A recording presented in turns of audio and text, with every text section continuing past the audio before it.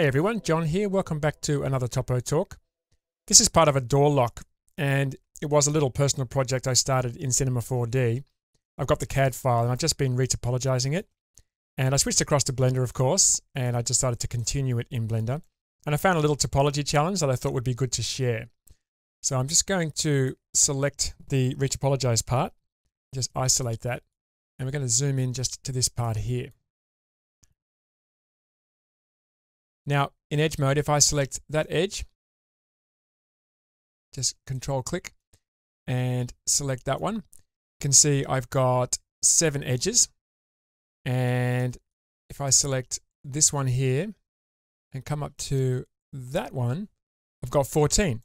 So all I have to do is press Shift B and I can bridge those. So that's all good. But hey, it's left a little triangle there. So what am I going to do? If I fill that and leave it, you know, it's on a curved surface, it might not do too badly, but it is leaving this pole on this leading edge. Now, if I add in control loops and push it off that leading edge, maybe it will be okay. But there is an easier way to fix this and make this all quads.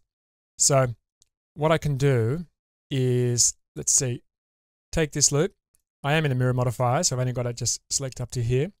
Control X to dissolve and grab this and this ML to merge to last. And now take these ones and just slide them up, GG. And of course I'd have to even these out. And you know, I'm using a CAD file, so if I'm snapping to that, it should be okay to hold that curvature in place. There's enough topology there.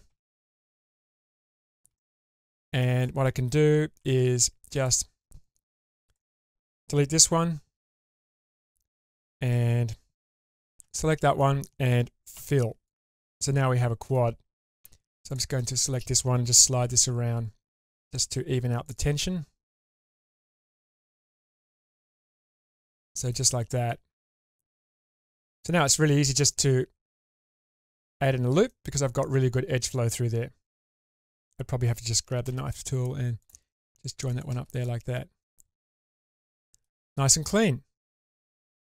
If I was to put that into a sub D surface,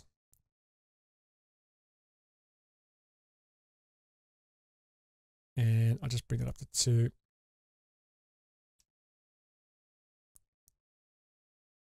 That looks pretty good. Does appear to be some sort of issue down here. Just check this out.